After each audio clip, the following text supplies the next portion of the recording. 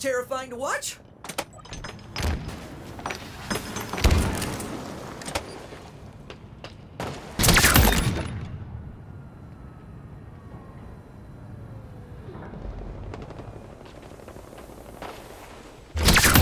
Our ammo reserves are low.